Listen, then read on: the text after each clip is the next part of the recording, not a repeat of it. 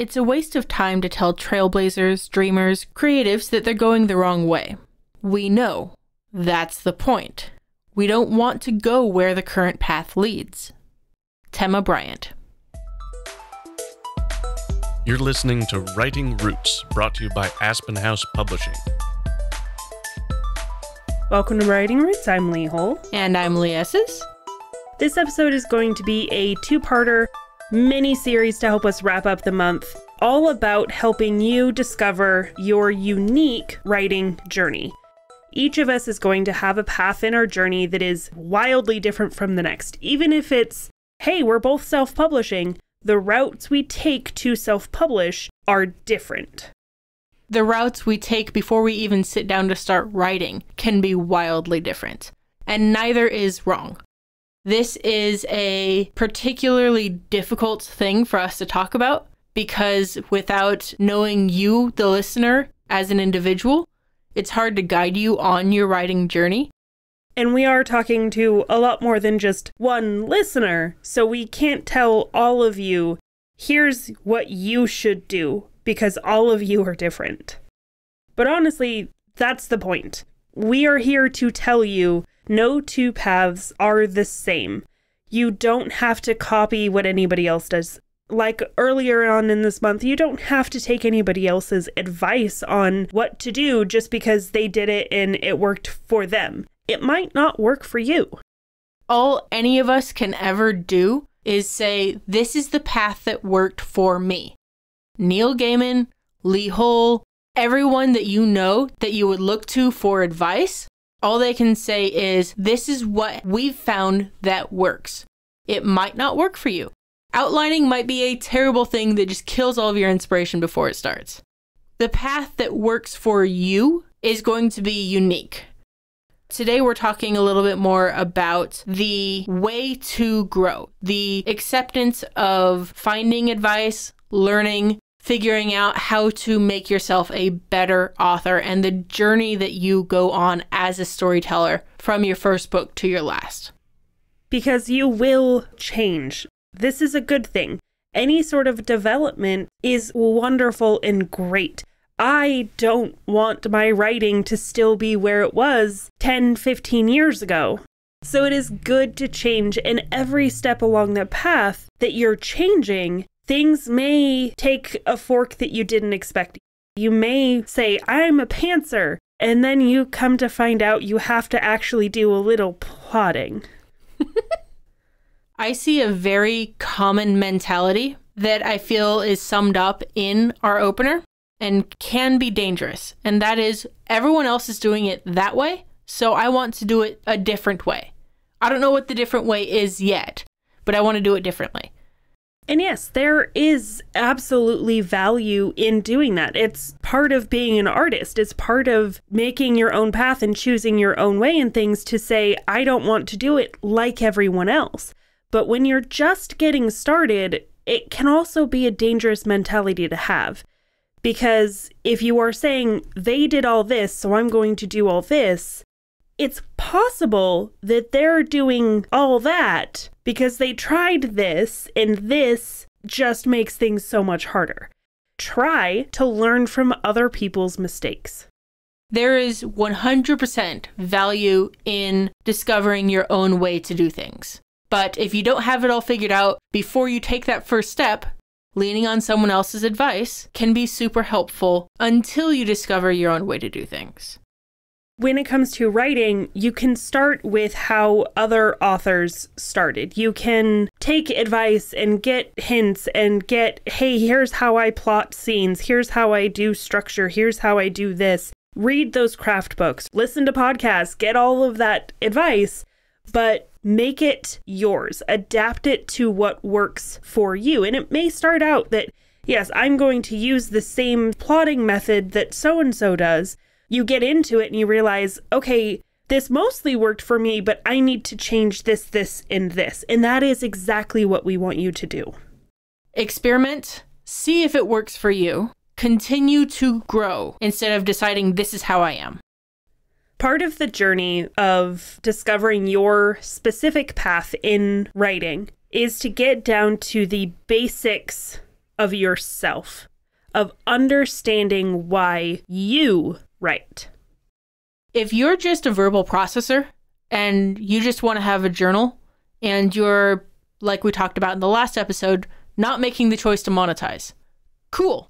That's all you need to do in life. Write that way, write however you want to write. I want to write to entertain others. I have no artistic ambitions. I would be kind of concerned if my readers read my book more than once, just because I want them to go, wee, that was fun. Where's the next one? Other writers want to leave something behind as a legacy. This is sort of me. I don't necessarily care about the long term legacy aspect of it, but I wanted something physical to hold, to show, to say, look, I wrote this, I created this, and now anybody across the world can have it. They can own this thing. My grandmother has been saying for years that she wants to tell her dad's story, especially his time during World War II. That would be her legacy for the generations to come. And just having a version of this story is all you really want to accomplish with it. The words are out there, and that's enough. We have a couple reasons that we don't recommend that you write. So if you're like, hey, yes, this applies to me, maybe consider a different art form. The first one is if you're trying to convince people of your point of view. If I'm going to write a story so I can convince people that all guns are bad, that's not going to be a good reason to write a story because I'm not changing. I am just annoying people with throwing another opinion out into the void. Nonfiction is slightly different with that because people go into nonfiction expecting that sort of writing. But if you're writing fiction, convincing people of a certain point of view, maybe not the best. Telling a story of a certain point of view, that's different because your main goal is to tell the story. The other thing we don't recommend is writing for the sole purpose of becoming rich and famous.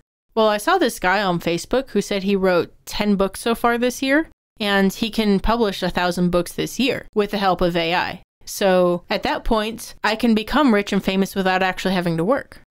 Nope, nope, nope, mm-mm, mm-mm. Because who's reading those books? Absolutely nobody.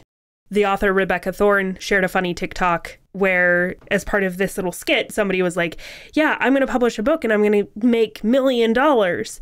And her response was, You know, that's not how it works, right? Like, you have to have a backlog of books before you start making a decent amount of sustainable income. Like, you do understand that, right? It's important to me that you understand that.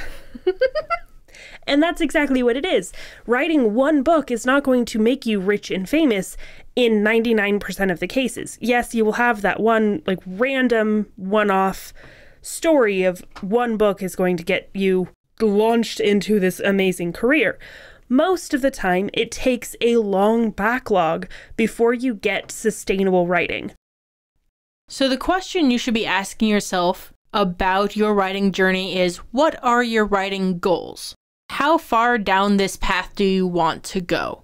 Do you just want to have that one book that you have this idea for that you've been wanting to write for a long time? Do you just want to get that book on paper?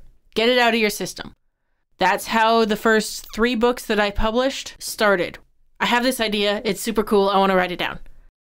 Or do you just want to have a book that you can give to your grandkids, or in my case, my nieces and nephews, to share, like, hey, look, I did this really cool thing. I was a published author. Or do you want strangers to read your book?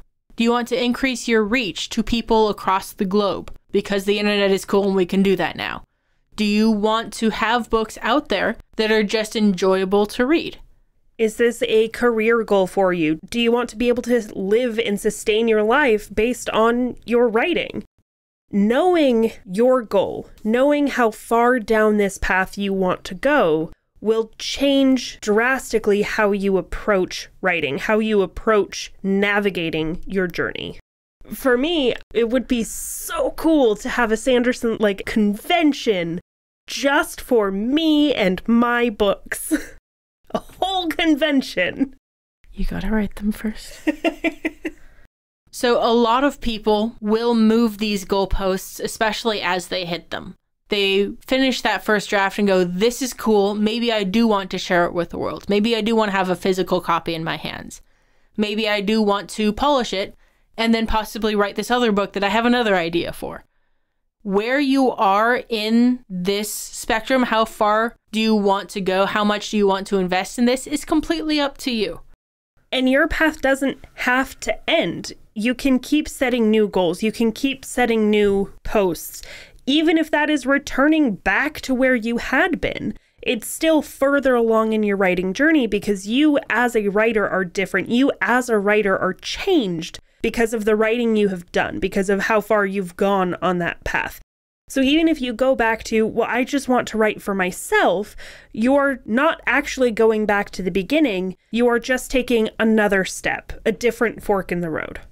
It is a completely viable option to go, I don't know, what I know is I want to write this scene today. And then tomorrow I'll wake up and maybe I want to write this scene over there. Maybe I want to write a completely different novel. Maybe I want to do something else. And then the day after that, maybe I'll want to sculpt something instead. Wherever your journey takes you in the arts, please pursue it. If you are meant to be a writer, you will always come back to writing. But in every art, but especially in your storytelling, write selfishly. If you have a question or comment for our hosts or a topic you'd like us to cover, send us an email at writingroots at aspenhousepublishing.com or find us on Facebook by searching for Aspen House Publishing.